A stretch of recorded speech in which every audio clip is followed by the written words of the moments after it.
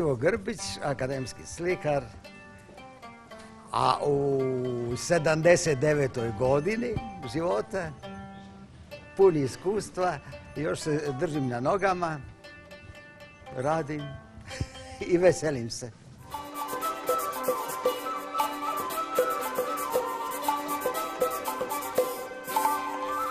Ne mogu ga iscrpiti nikad jer uvijek e, niste baš previše zadovoljni s onim što ste ranije napravili. Pa sad bi ovako, onako, drugačija tehnika, drugačiji pristup. A možda su i oni prvi radovi bili možda najsvježiji. To će tek se znati kad partimo gore Svetom Petru pa će drugi ocjenjivati.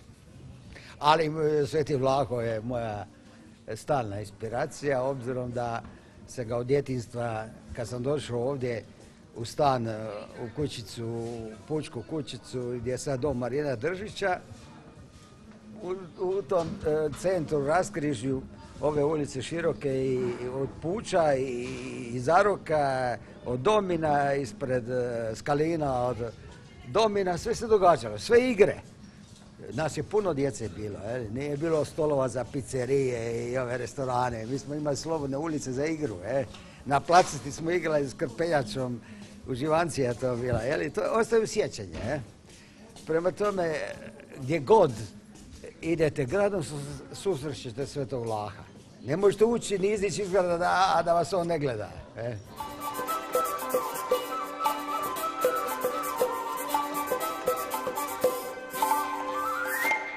Ja se sjećam kod dijete, mene je budilo, evo rekao sam da sam tu bio u centru, sve sam čuo. Mene su probudili topovi, pucaju tamo, malo djete, u postelji stojim, jedva sam znao broj do pet, ja, ajme, puca, pape, što je ovo? Ma gori to ti slave, to ti je budnica, da se narod digne, festa Svetog Laha je tu. 21 hitac sa Minčete, znate, bili su vojnici, mornari, ja sam imao kao u zbirci originalne fotografije gdje su oni doveli mali top na rotama, tamo ga montirali i govori moj stari, e, znaš, za Franji Josipa su pucali 19, ali sve to lako borali, barem dva više. E, to je prvo bilo. Onda zvonjava zvona, onda te glazbe koje su džiravale okolo, morao si se probuditi. Svi su stigli, e, jasno, da to su detalji koje vam drugom priliku ispristati kako nas je mama pripremala da bi ušli u, svećane odjeću, jeli? U maštilj nas kupala gore.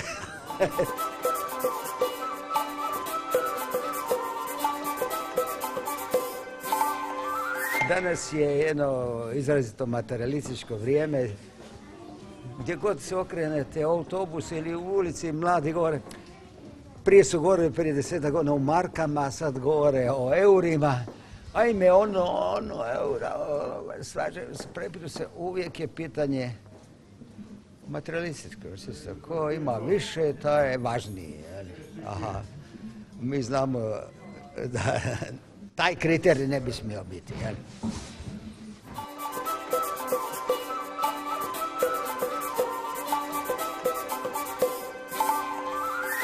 svakom vremenu se sve stvari mijenjaju i običaje i navike i tako dalje. To je, ne može se nešto zaustaviti jeli, za sva vremena. Ali što se tiče Feste Svetog ja, ja predlažem to već dugi niz godina, samo mnogi ljudi ne slušaju. E, treba bi malo konzultirati arhivske podatke, kakva je ta festa onda bila za republike, pa za Austrije, pa onda u doba komunističke vladavine, koje se ja sjećam, i u ovom, ovoj slobodnoj Hrvatskoj sada. Ima nekakvih e, pristupa koji, koji nisu baš e, e, od feste. Evo, ako je ove godine, odnosno prošle godine je UNESCO pokrovitelj zaštitnika ove feste nematerijalne kulture, ja smatram da bi to trebalo biti dolično u svakom pogledu, na evropskom nivou.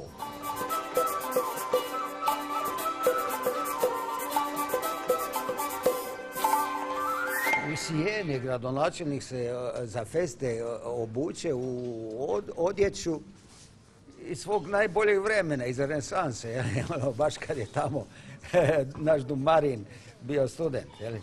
A ovdje sam ja predložio to, pa sam rekao, pa nećemo se maškarava.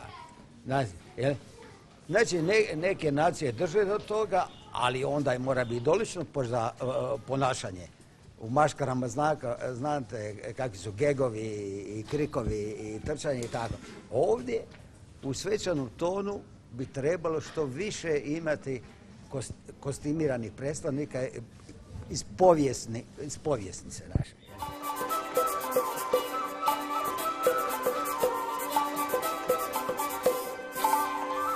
E, e, e, jedna disciplina i red svečana, ton. ja ću kasnije sam gore s prozora promatro procesiju puno godina, jeli? a pa onda se e, nekom festanjuru pušilo, pa je pošlo tu pokrajnu ulicu, jeli, pa, jer jesi mi disciplinirani, jesmo i mi prošli neku vojnu obuku, da recimo gdje nas je neko sa čvrstom cegom držao, pa možemo, moramo izdržati neke stvari htjeli mi negdje. Govorimo o nekim elementarnim stvarima, jeli, izgledaju možda i smiješne. Onda treba napraviti jedan koncept čvrsti. Imamo izvrsnih naših e, gradskih domaćih režisera, ja mog prijatelja spominjem Joška Juvančića, da naprave jedan koncept otvaranja feste i, i, i cijelog, cijelog događanja.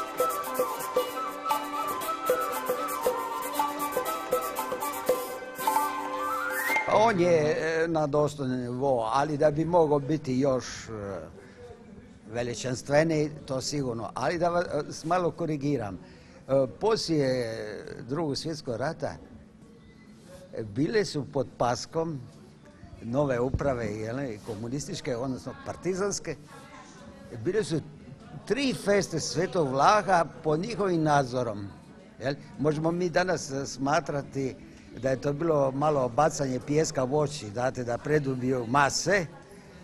Ovdje, ja, sam imao fotografiju originalno, znate, e, Baljak Svetog Vlaha je bio tu na, e, na vratima otpila. To, se Baljak Svetog Vlaha na bijeli, jel? tradicionalno. Jel? I bile su to fotografije gdje partizanski vojnici sa puškama u ramenu i bajonetima idu sa strane pelenice znate, koja je pokrivena velikim baldahinom, to imamo dokumente, sve do 48. Onda je država odustala od te feste i ostalo je samo na crkvi da ona organizira kako može.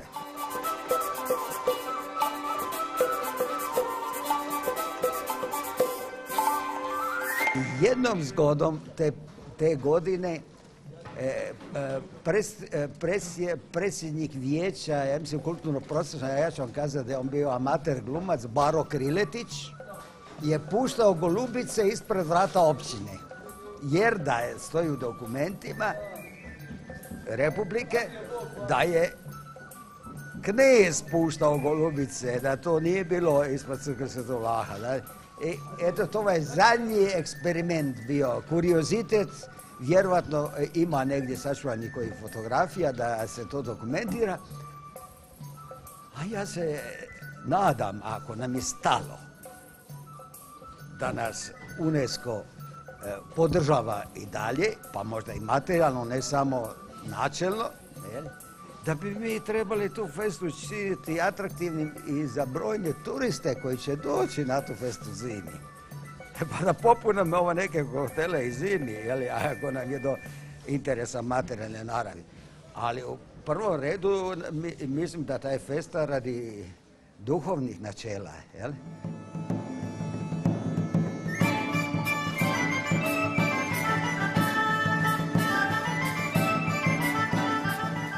Ja svim građanima čestitam festu Svetoga Vlaha, našega zaštitnika vjekovnoga i nadam se da će se osjećati odlično kao što se ja ovog trenutka osjećam.